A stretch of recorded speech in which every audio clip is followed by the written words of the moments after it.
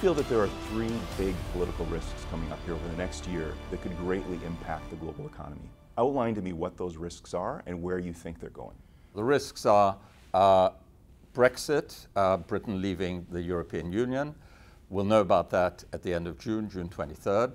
After that, uh, the American election uh, and uh, the possibility of a President Trump, which whatever you think about the politics of it, will transform not just the American but the global economy. And next year, uh, in the summer, early autumn of next year, an election in Germany, which could see the rise of Alternative für Deutschland, which is a similar kind of anti-establishment populist party, very focused really on the same issues, immigration and globalization.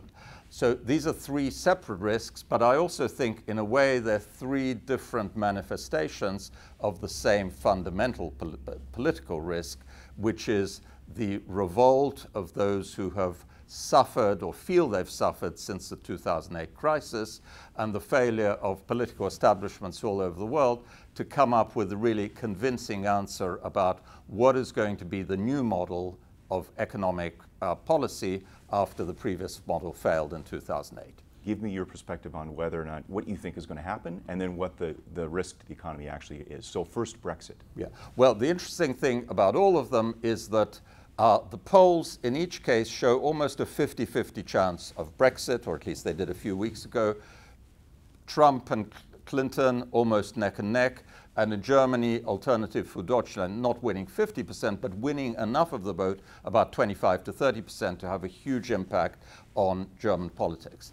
But the financial markets, and if you look at things like uh, trading odds in, in, in the betting markets, in the uh, expert prediction markets, all put a probability of around 25%. So much lower probabilities as assessed subjectively by experts, bettors, putting their money where their mouth wished, as opposed to 50-50 probabilities in the polls. So I think that's, that's a real tension. So which should we believe? I, as an expert, tend to believe the experts. And the big test of that will come on June 23rd when we see the vote in Britain. If the British vote goes the way the experts, people like me, think, in other words, that Britain will stay in the EU, I will feel much more confident that something similar will happen in the US and Germany. In other words, the establishment wins and the populist voters turn out to behave differently when they get to the ballot box and actually have to make a real decision as opposed to what they are saying to opinion pollsters. If, on the other hand, Brexit happens, then I think the odds of a Trump victory, as perceived by the markets, will go way up from 25% or 30 to something like 50 or 60%. And as I say, whatever you think about the politics, that is going to be very disruptive, at least in the short term, to financial markets and the world economy. So from an investing point of view then, how do you proactively, I mean, it's very difficult to look at these and, you know, obviously forecast what's going to happen, but from an investing standpoint, how do you look at them and, you know, position yourself to best protect yourself? From an investing standpoint, the difficulty is that this year, the main risk is no longer economic as it was last year, you know, worries about Europe or recession in the US. It's no longer China, which I think has settled down. It's not great, but it's not bad it is this political risk.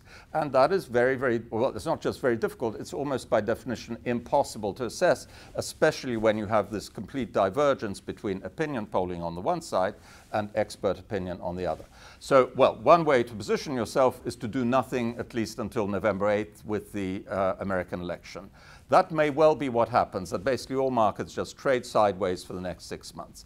But another possibility, as I said earlier, is that the Brexit vote will be seen as a leading indicator of what could happen in the American election. So actually the logjam uh, between uncertainty and greater, uh, between political uncertainty and greater economic confidence, which would otherwise be broken only on November 9th, may actually begin to break as early as the end of June. I think either way, when the logjam is broken and if the status quo wins, again, whatever you think of politics, it will calm down the, the, the, sense of risk in the financial markets, and you could see a repeat of, the, of what happened in 2012-13. In the six months before the presidential election between Romney and Obama, people were paralyzed.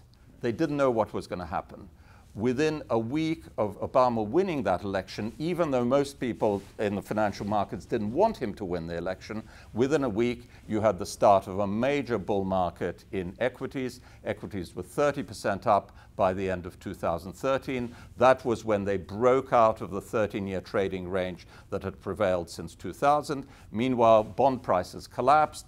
The 10 year bond yield went from 1.6% to 3%, almost doubled in that year. You had the strongest and clearest risk on period in the entire seven year period. I think something similar could happen if and when this political uncertainty is resolved.